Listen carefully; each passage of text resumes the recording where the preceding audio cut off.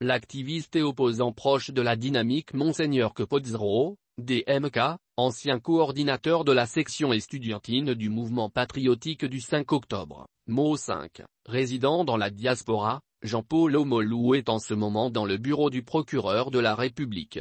Il était très H quand l'ancien délégué des étudiants de l'université de Lomé, Hull, Jean-Paul Omolou, chemise blanche, pantalon noir, menottes au point, est entré dans les bureaux du procureur de la République, assisté par Megil Benoît à Fambedji.